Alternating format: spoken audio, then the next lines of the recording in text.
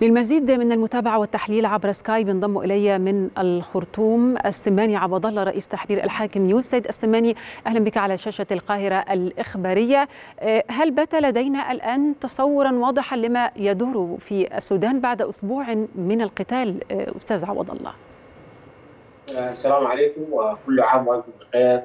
ونتمنى عيد سعيد لكل الأمة العربية والإسلامية وللسودانيين على وجه الخصوص حقيقة الاشتباكات ما زالت مستمرة. رغم إعلان الهدنة ثلاث مرات ولكنها لم تفلح في وقف القتال وإطلاق النار. أستاذ اليوم صباحا في نظافة نعم, نعم عذرا تفضل لأنه يبدأ هناك تقطع في الاتصال. تفضل. حقيقة هنالك قوات البرية تنتشر منذ الصباح لتنشيط الأحياء السكنية من القوات الدعم السريع التي ظلت منتشرة منذ اندلاع القتال في يوم السبت الماضي اتخذت هذه القوات الأحياء السكنية والبيوت بيوت المواطنين مغار لها لتنفيذ عملياتها العسكرية.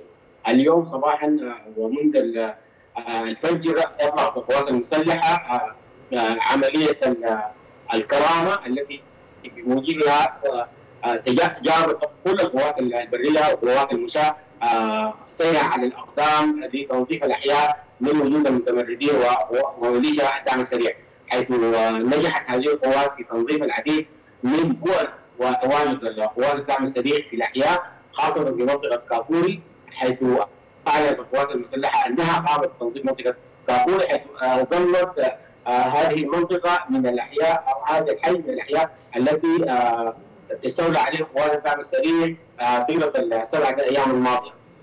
في فيما يتعلق بالمشهد العام هنالك حزن كبير جدا خاصة في أول أيام العيد حيث لم يتهنى المواطنين السودانيين بهذا العيد حيث يوجد كثير منهم فروقات يوجد كثير منهم بلاء مرض يوجد كثير منهم بلاء علاج حيث هنالك حالة من من الحزن عمت كل أنحاء السودان حيث هنالك اسر اسر كثيرة فقدت احد أبنائها احد أحد الاسر والوضع حقيقة انه هذا العيد جاء مختلف تماما عن الاعياد السابقة حيث عم الحزن كل ارجاء السودان ولم يهنأ الأطفال ولم يهنأ المواطنون بهذه المناسبه العظيمة.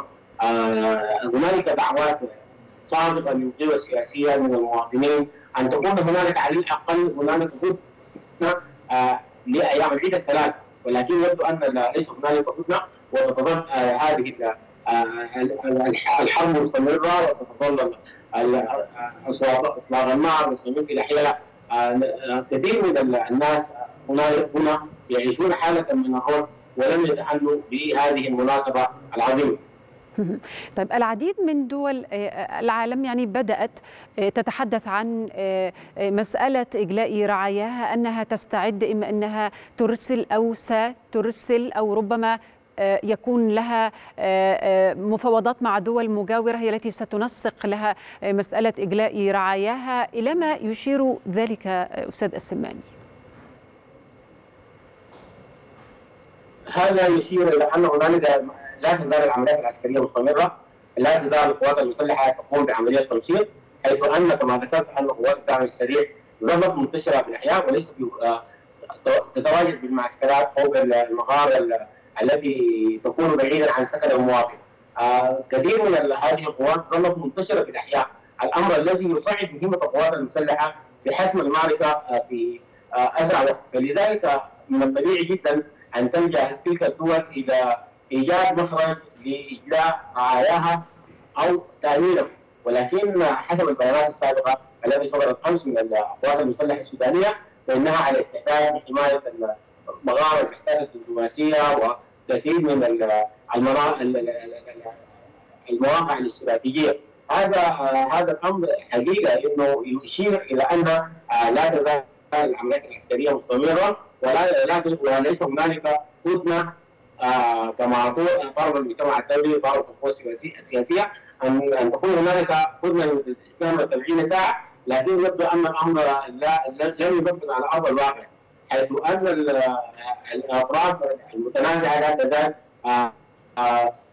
تريد أن تفرض سيطرتها وتريد أن أن تحقق نصر في الميدان، لكن الميدان يبدو أنه تحول إلى حرب شوارع، هذا الأمر صعبه جدا للقوات المسلحة تنفيذ هذه المهمه لإنجاز مهامها دون أن تحدث هنالك خسائر بشرية إضافية لما حدث كما ذكر التقرير. الذي ذكرته منظمه الصحه العالميه. طيب أستاذ السماني يعني في ظل هذه التطورات الصعبة والمتسارعة أسبوع صعب عاشه السودانيون ما زالوا يعانون في إطاره مشاهد لن تغيب عن الذاكرة لا التاريخية ولا الإنسانية للسودانيين ربما ويمكن للعالم، هل من مخرج لما يدور في ضوء هذه الاشتباكات المستمرة؟